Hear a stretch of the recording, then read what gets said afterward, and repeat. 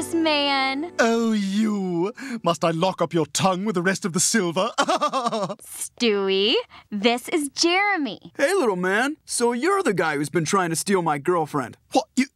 Girlfriend? Uh, What kind of sick, twisted game are you playing at? Stewie sounds a little cranky. I'll put him to bed. Ha! I got your hat! Take that, hatless!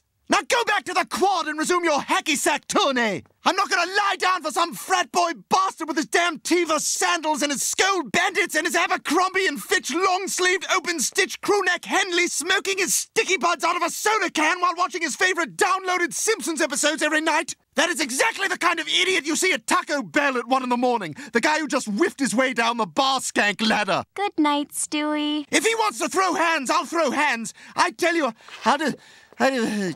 Uh, uh.